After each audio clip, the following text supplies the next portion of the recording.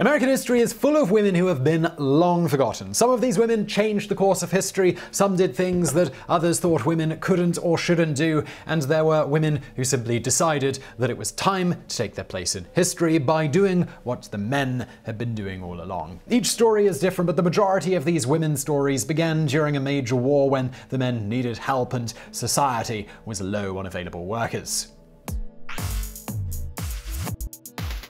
Number 10. Received the Congressional Medal of Honor.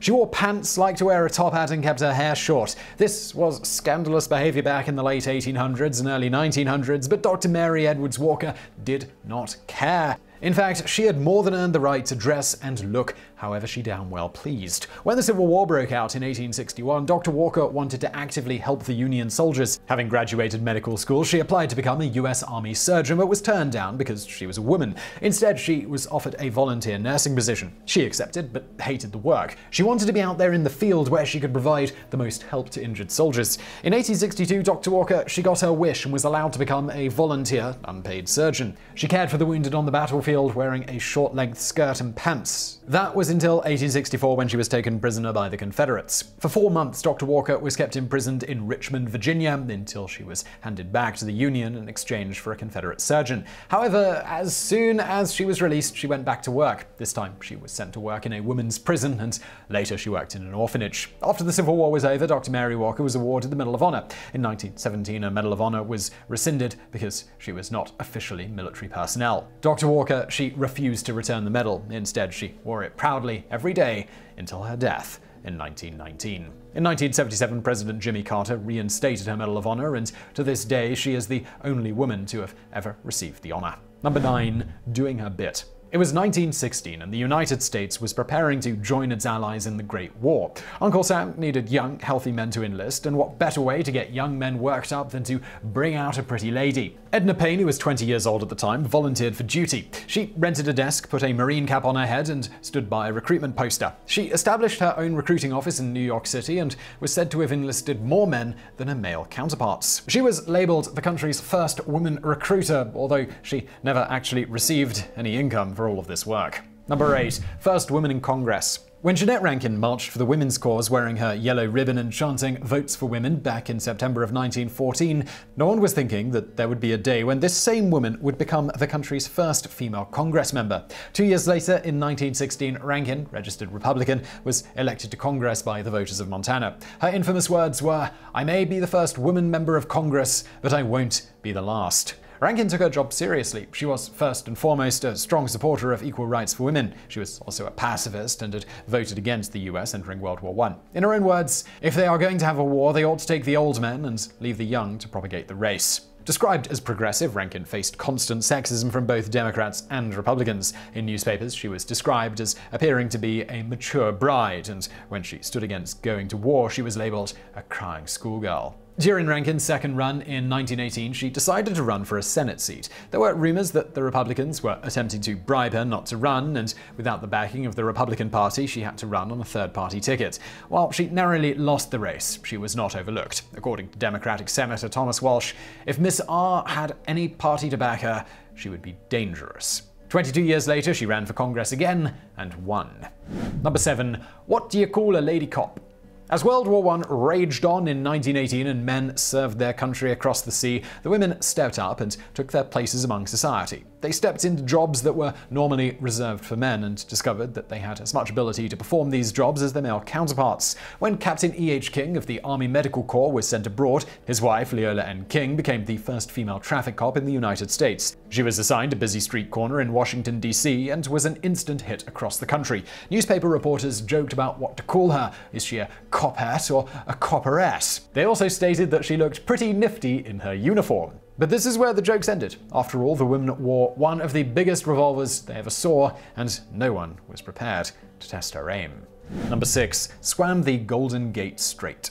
In 1922, a West Virginia newspaper joked that pushing a wife into the river to drown your troubles is becoming a lost art, simply because women had proven themselves to be rather good swimmers. Take, for instance, Hazelbeth Lageneur. On August 19, 1911, she became the first woman to swim across the Golden Gate Strait. Using the left side stroke, she made it across in 1 hour and 28 minutes. Even before Lageneur swam across the strait, men were admitting that women were fairly good swimmers. In a newspaper article in 1890, it was claimed that women were good swimmers because their bones were lighter than men's and they had a natural buoyancy because of their fat. However, in 1916, women were being told that they should avoid swimming altogether. There was apparently proof that swimming made skinny women fat and stout women even stouter. In spite of all of the nonsense being published about women swimmers, Lageneur wanted to become the first woman to swim the English Channel. Unfortunately, World War I broke out and she turned, instead, to making movies.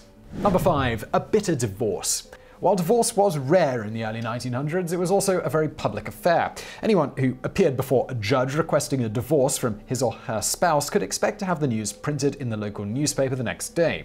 There was no such thing as privacy, and everyone wanted to know who did what with whom. However, in 1914, something rather odd happened in the world of divorce news. Mrs. George Deimer became the first American woman to pay alimony. As the story goes, Mrs. Deimer was married to an oil operator and contractor. She too must have enjoyed a working career because she hired a telegrapher as a business agent. As the couple worked and accrued wealth, the husband became jealous and thought that his wife was far too intimate with the telegrapher. She, in turn, filed for divorce. In the ugly fashion of divorce, the husband filed a claim for alimony. When all was said and done, the divorce was granted. Mrs. Deimer was given custody of their two children, and Mr. Deimer was awarded an alimony payment of $3,000. Number 4. First in the Navy. It was 1917, and the Germans were busy attacking American ships at sea. At home in the United States, young men were enlisting to join the war effort and defeat Germany. Women also wanted to fulfill their patriotic duty and help the Allies defeat the Kaiser. The US Navy it needed more enlistments, and soon it became the first branch of the military to allow women to enlist as something other than a nurse. The first woman to enlist was Loretta Walsh, aged 20. She was a yeoman and was given the same pay as her male counterparts. Sadly enough, Walsh was a victim of the flu pandemic in 1918. While she survived the initial flu, she never fully recovered from its effects on her health and she passed away at the age of 29 in 1925. Number 3. Ambulance Surgeon Dr. Mary Crawford began her amazing career in 1908 when she became Brooklyn's first female ambulance surgeon. At that time, ambulances were drawn by horses and transported patients to the hospital as the ambulance surgeon worked to keep the patient alive. At the start of World War II, well before the United States joined the war effort, Dr. Mary Crawford traveled to France and joined the American Ambulance Hospital. There she became the area's first female ambulance surgeon and operated on wounded soldiers wherever she was needed. After 10 months serving in France, she returned to New York where she raised money for French hospitals. According to one report, Dr. Crawford called Paris one great convalescent hospital congested with wounded men. She was determined to help the men and the victims of the war in any way she could. From 1919 to 1949, she was the medical director of the Federal Reserve Bank of New York. She retired and passed away in 1972 at the age of 88.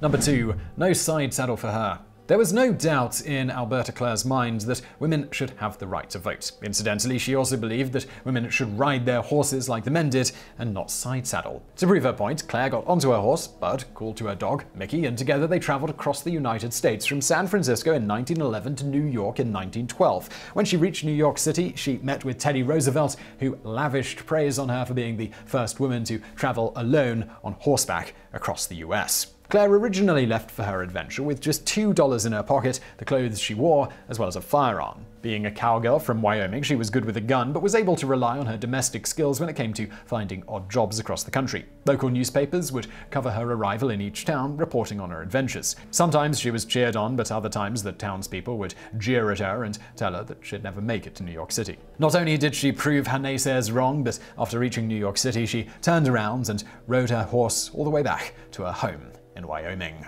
Number 1. Her dad did not want her to become a doctor. Fay Kellogg's father would not allow his daughter to become a doctor. He didn't want a child of his to go into the medical field at all. Instead, Miss Kellogg's father offered her drawing lessons. It might have been a joke on her father's part, but Kellogg followed his jest and studied drawing in Washington. She then studied for another year at the Pratt Institute in Brooklyn. Afterwards, she found a job, but it only paid her $5 a week. Not one to give up, she went to Paris to continue her studies and was allowed to work alongside the men. When she applied to the École des Beaux-Arts, she was turned down because no woman had ever applied to that school before. Kellogg returned to the United States, and instead of feeling defeated, she became the pioneer women architect in the country. In 1901, she set up her own office and designed buildings across the United States, such as the Women's Memorial Hospital in Brooklyn, New York. So I really hope you found that video interesting. If you did, please do give us a thumbs up below and don't forget to subscribe. We've got brand new videos just like this every day of the week. So hit that subscribe button if you want to get those. Also, why not check out my other channel? We do biographies of notable people from history as well as the present day. If you like this video, you'll probably like that channel as well. Please find it linked to below. And as always, thank you for watching.